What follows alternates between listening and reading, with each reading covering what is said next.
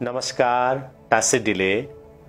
On behalf of the people of Sikkim, I extend my warmest greetings and best wishes to His Holiness the 14th Dalai Lama on the auspicious occasion of his 87th birth anniversary.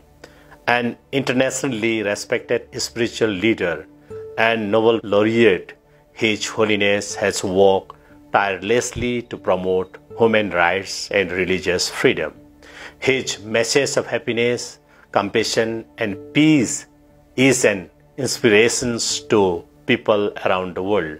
We appreciate and respect his dedication to the service of humanity and his perseverance in promoting a universal religion of empathy and kindness.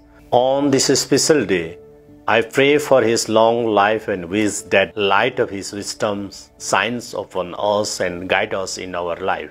May his valuable presence and teaching serve as an inspiration for all the people and sentient beings. Thank you.